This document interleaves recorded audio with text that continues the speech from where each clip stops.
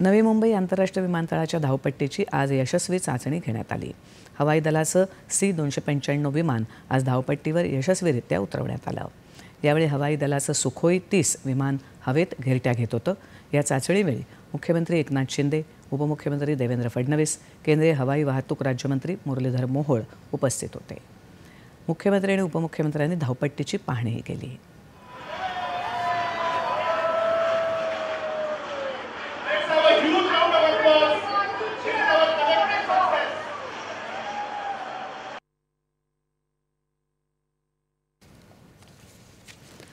नवी मुंबईतलं हे अद्ययावत आंतरराष्ट्रीय विमानतळ देशातलं अव्वल क्रमांकाचं विमानतळ ठरेल असा विश्वास मुख्यमंत्र्यांनी व्यक्त केला. या विमानतळावरून वर्षाला नऊ कोटी नागरिक प्रवास करतील. त्याचबरोबर जवळपास दोन पूर्णांक सहा दशलक्ष इतकी कार्गो वाहतूक होईल असं ते म्हणाले.